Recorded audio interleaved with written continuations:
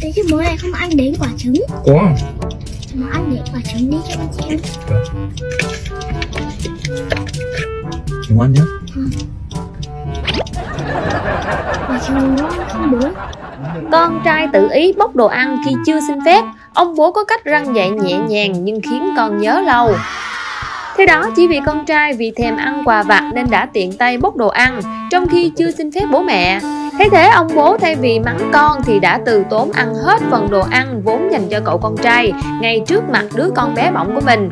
Mặc kệ cho cậu bé có thèm thuồng rón rén tới gần bố hỏi thăm đủ chuyện, hay buồn bã khi bị bố chỉ ra lỗi sai của mình và nhìn bố từ từ ăn hết phần đồ ăn, để nhắc nhở rằng em không được tái phạm nữa. Có chứ đều ăn, ra vào quả trường đấy đâu thì con có được ăn đâu? Tại sao con không được ăn nữa? Đánh nhãn nó là của con mà, đúng không? Thế tại sao con lại không được ăn nữa? Không biết hả đó cô hỏi sữa nhá.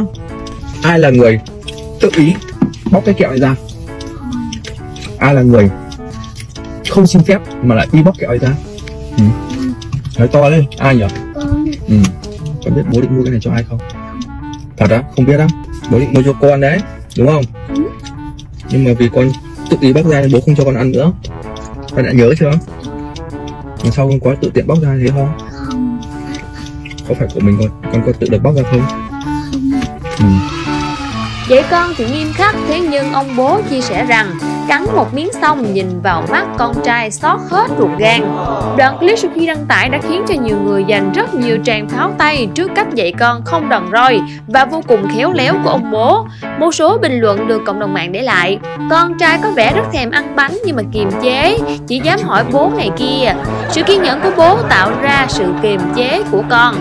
Chưa có gia đình nhưng thực sự phải nể người bố trong video cơ, kiên nhẫn thật sự. Trong mặt bị phạt thương con trai thế, đằng sau nụ cười ấy là cả một bầu trời nước mắt. Cảm ơn các bạn đã quan tâm theo dõi, đừng quên đăng ký kênh Tin 3 Phút để cập nhật tin tức nóng hổi mỗi ngày.